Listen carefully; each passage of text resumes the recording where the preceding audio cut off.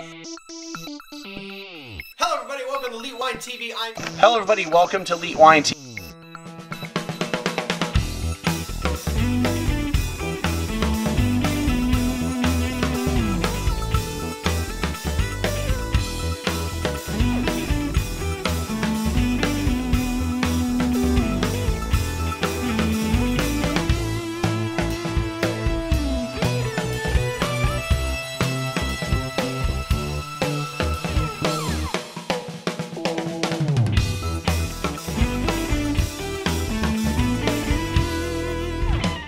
Hello, everybody. Welcome to Elite Wine TV. I'm your host, Mark Fusco, here for another edition of the show. So, uh, I'm going to take a look, see when they sent me the email, because, yeah, it's been a minute. Uh, anyway, so I've got some mm, September. Um, got some wines here from Llano Estacado, and um, they're a West Texas winery. Um, they make quite a wide variety of wines, and they sent me six different wines. Um, kind of see these, the reds over here. Let's move those out of the way. All right. Uh, anyway, uh, they sent me six different wines. We have three whites, three reds. I'm doing the whites first, and then we'll do the reds after that. Um, I won't go through all the history of Llano Estacado and all that. I'll, you'll be, there'll be there'll be a link below for you to check it out.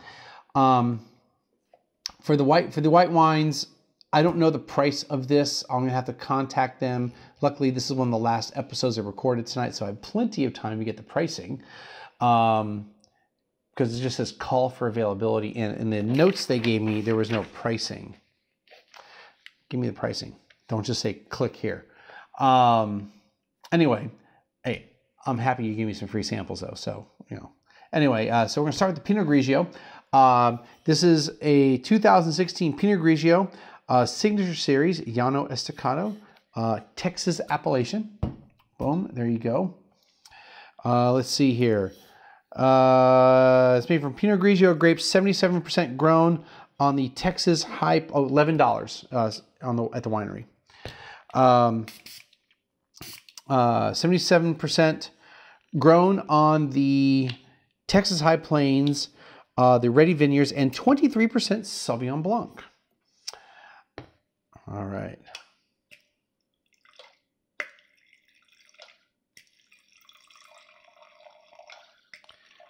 All right, let's see here. Let's check this out. Had to get a new white wine glass because that last episode I had to uh, get other had to use that he had to use the white wine glass for another wine. All right, so let's check it out.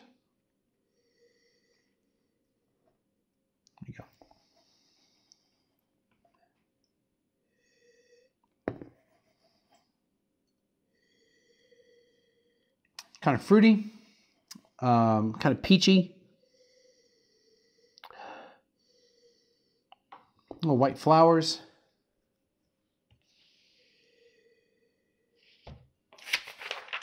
So I don't see any other tasting notes. I don't even know what I said is even in there.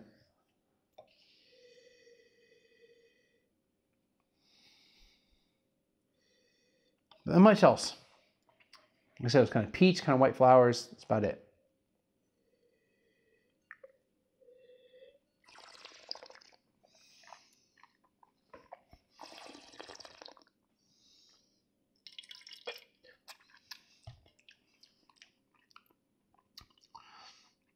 It's got some good acid. Um, it's actually kind of kind of rounded though.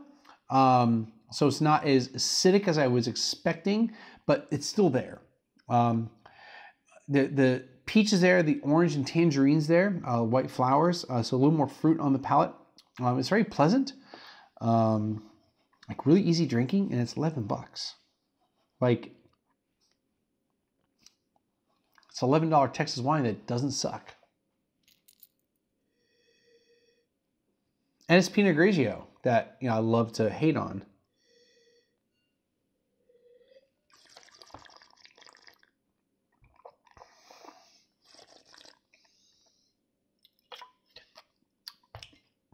But that bit of um, Sauvignon Blanc is probably helping out, um, kind of give it a little more fuller body. Um, it's good. I like it. All right, moving on. Trying to power through these wines. I'm really impressed if this phone makes it all the way through the end of the next of the last episode. All right, so wine number two. This is the Llano Estacado or Llano Estacado. Uh, there's a town called Llano, spelled like this, but Llano is how you Spanish pronounce it. Uh, Cellar Reserve Chardonnay 2016 Texas. Let's flip this over, see what interesting information they have for me.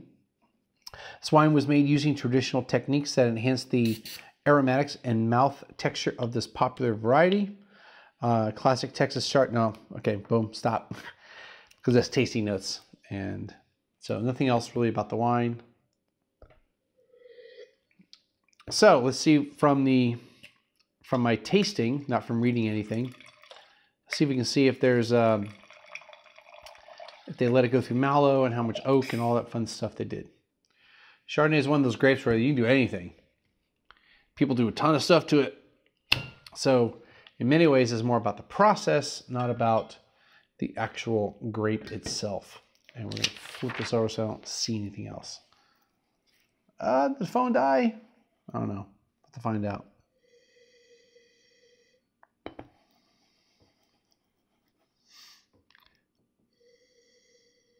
Yeah, I think the phone just died, which is fine. I mean, it was pretty impressive. It lasted as long as it did without being plugged in. All right, so back to the wine.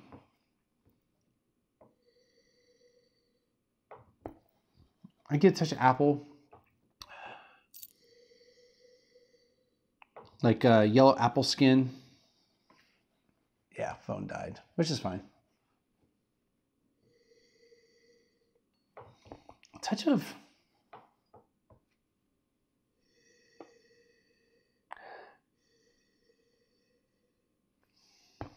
At first I thought maybe like banana, but no, I don't think so.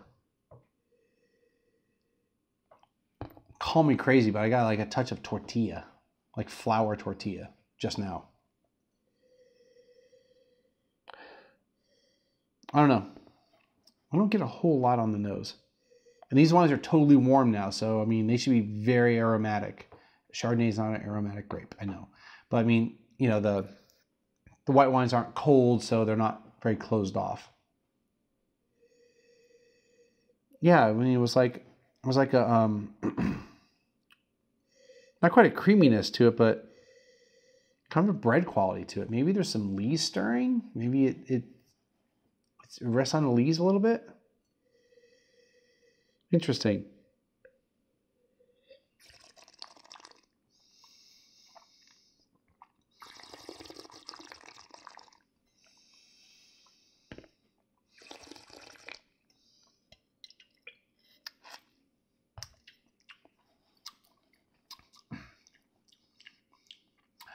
On the palate, you get the you get like the red apple, golden apple, a little caramel, so a little caramel apple action.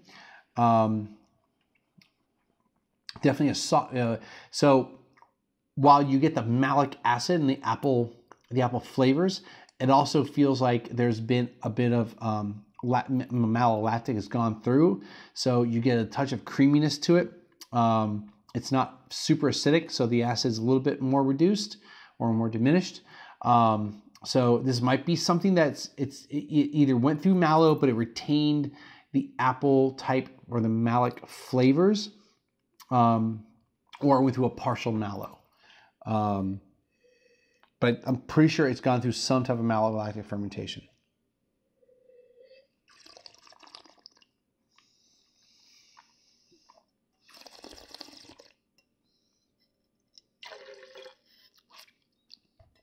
It's got, yeah, I mean, those are the dominant flavors, you know, caramel apple, um, but like red and yellow apple, um, not necessarily green. So like it's it's gone through a little bit of softening, uh, touch of cream, touch of oak, like kiss of oak type of thing. Um, a little bit of vanilla, uh, a little bit of yeah, a little bit of that tortilla. Kind of weird.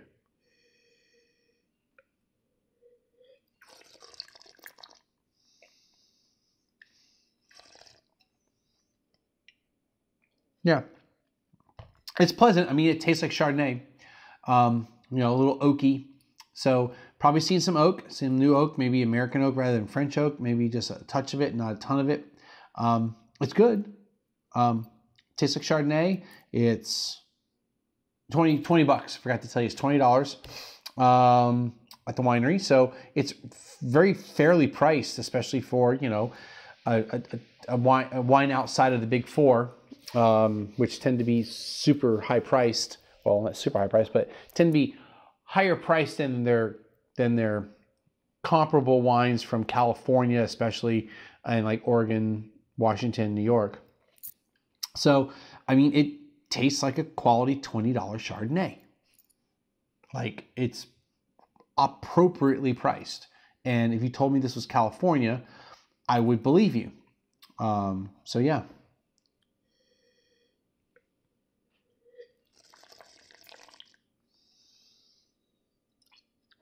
Let's see what the back label says anything relevant.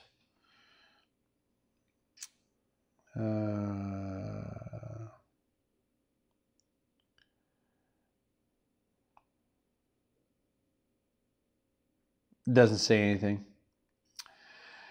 Doesn't say anything at all. It says it has aromas of citrus and tropical fruit.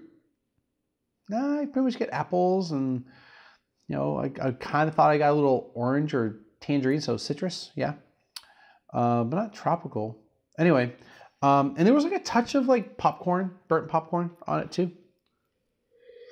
Buttered burnt popcorn. So yeah, all right. So let's get. It's it's tasty. You know, a lot of people will like it. All right, so let's get into the 1836.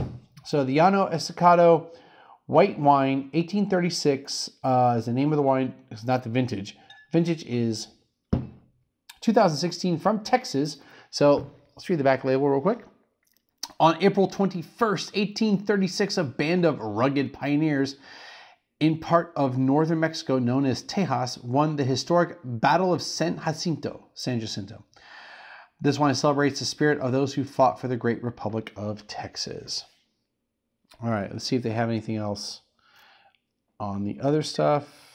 Nope. And there was no, um, there was really nothing I saw on the website give you an indication as to what the blend is on here. Let's see if I can, let's see if there's anything on here. All right, here we go. Uh, it's an aromatic and richly textured blend of Viognier, Roussanne, and Chardonnay. I don't have a price. Um, it said this wine is aged sur lie for several months, which means it's aged on the lees, and it was also allowed to complete malolactic. Let's see if the Chardonnay, there's, there's anything on the Chardonnay. No, it just says the same thing as everything else. All right. Boom, boom, boom.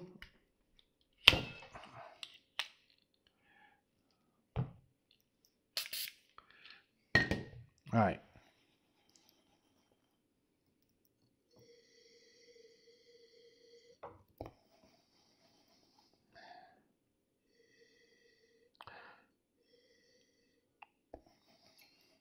I mean, I smell stuff, but it's kind of hard for me to really pinpoint. I mean, touch orange, orange blossom.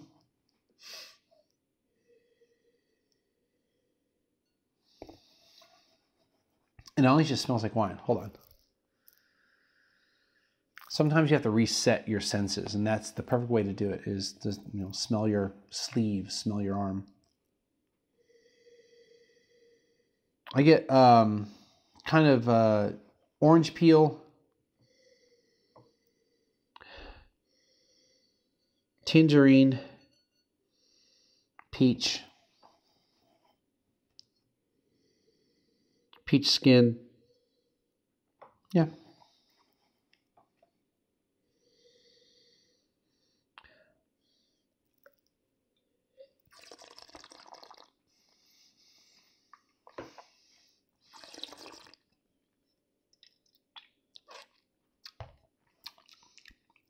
I'm pretty sure I've had a different vintage of this wine because I know they've sent me a bunch of wines before, and I'm almost positive I had this.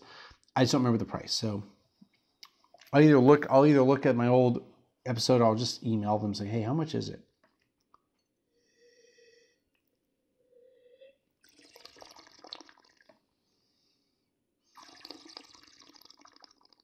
Hmm.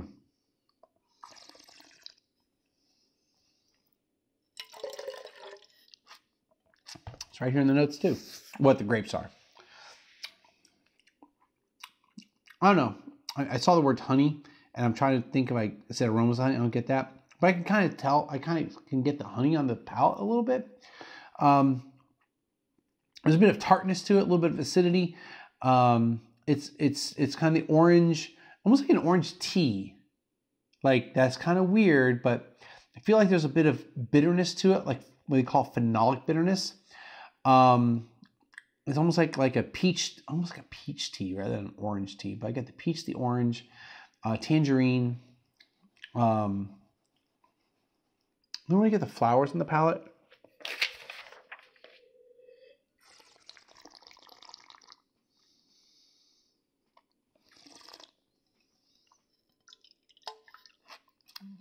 It's definitely very pleasant.